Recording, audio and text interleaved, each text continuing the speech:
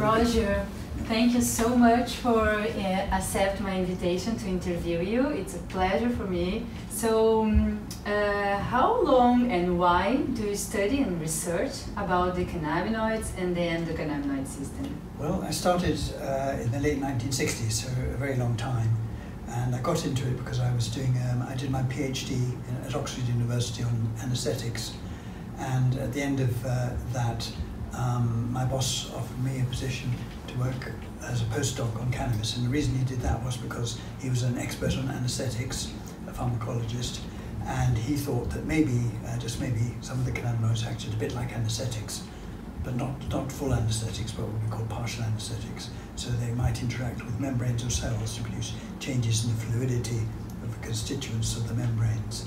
So that's really um, the starting point. So I accepted It was an interesting time for a number of reasons. First of all, um, we knew very little about um, cannabinoids. We knew ca cannabis had been known about for thousands of years, but the actual pharmacology of the individual constituents was really very little was known.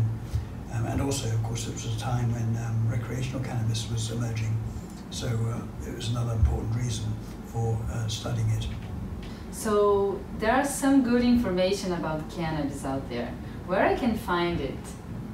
Oh, right. Um, well, you can read the literature, but uh, there's about, oh, I don't know, about 100 papers a week come out. Yes, it's a lot. Because I do a weekly search, and there's an awful, awful lot of publications, and um, not, all, not all necessarily on things you'd be interested in. Uh, but one possibility would be uh, for someone starting out would be actually to uh, uh look at a book which I edited. Uh, it's about uh, four years old now, but still reasonably up to date, therefore and that's called the Handbook of Cannabis. Yeah. And uh, that might well be uh, of interest to people because it um, is reasonably uh, readable. It's got a huge index, so it's easy to find things. And um, the chapters are written by experts in various aspects of um, cannabis. And I mean all aspects. So we, we start really, we've got chapters on how to grow it, um, someone from GW Pharmaceuticals on how to grow it, yeah. the botany of it, the history of it, um, the potential therapeutic uses, um, the pharmacology, how the different constituents of cannabis work, as far as we know. Lots still to be learned on that because a lot we don't know, but what we do know is, is, is, is um, summarized in there.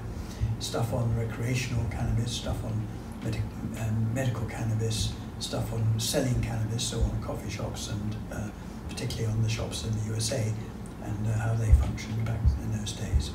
So there's a lot of interesting and useful information, so it's a good starting point for someone. In your research field, have you considered medical cannabis as possible treatment for multiple sclerosis patients and why? Well, um, it's something which, uh, from a long time ago really, and back in the late 1980s, early 1990s, uh, when I was reading newspapers, I came across articles by a lady uh, with multiple sclerosis who was a journalist but had to give, give up her job really because of her MS. But she wrote these articles about multiple sclerosis and how she found cannabis was the only drug really which worked for her multiple sclerosis. When it was? Um, uh, this was in the late 1980s or early 1990s. Okay. Yes, I can't remember the exact date. No, it's okay. Um, and um, she actually wrote using not her real name because, uh, of course, it was she illegal was to take cannabis. Yes. Um, so she, she wrote, so I got really interested in that. So I con contacted her and we just had discussions.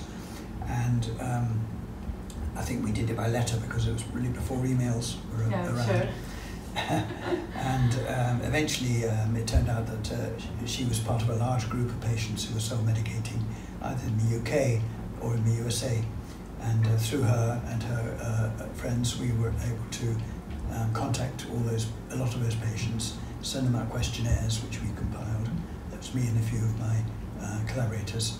And then uh, we got the replies to those questionnaires and we wrote a paper on that uh, because we were very impressed because we got very similar replies from all these different people and they sent the replies directly to us, not to anyone else first, so we believed them. And uh, certainly uh, the, the, claims were it was it reduced the spasticity yeah. of multiple sclerosis as well as the pain and greatly improved sleep, so they set much better. And uh, that's why we took it. It worked much better than any of the drugs which were available yeah, as, as sure. actual medicines, which is why they took the cannabis and self-medicated. Yeah. I think that probably that paper probably contributed to um, to the uh, probably persuaded people that it's something that should be explored properly in clinical trials, which is what happened. And eventually, of course, um, a, a, new drug did emerge, produced by GW Pharmaceuticals, um, which is a, a, mixture of THC and cannabidiol called Sativex, and that is now used to treat uh, multiple sclerosis. At that time, the, that uh, reporter, she was using THC mostly. Cannabis. Yes, cannabis yes. in general. Yes. In, in which form? Like smoking? I don't know. Oh, I don't you know. don't. No. Because it's, it's I would imagine it was smoking. It's smoking, probably, yeah. yeah. Well, Roger, there are any considerations regarding the team that you'd like to say uh, or a message? We, and there's so many of the constituents of cannabis we know nothing about pharmacologically or medically, and we need to explore that. Yeah. And then we need to come up maybe with the best medicines which maximize the benefits and minimize the risks, and decide if uh, for any of those it's better to go to a synthetic compound rather than a plant-derived compound, or if it's best to stick with plant-derived compounds. I mentioned one example of that already with the uh, cannabidiolic acid analog, which is synthetic, and the reason uh, we went for that one was because it's much more stable. And there may be other uh, examples where that might be a good idea, um, but we shall see. Beautiful. Thank you very much. Yeah, and it uh, was really impressive. The stories are really, really nice to hear. And I'm super happy I could do it with you. Thank you so much. Oh, it was fun talking with you. Thank you. Thank you.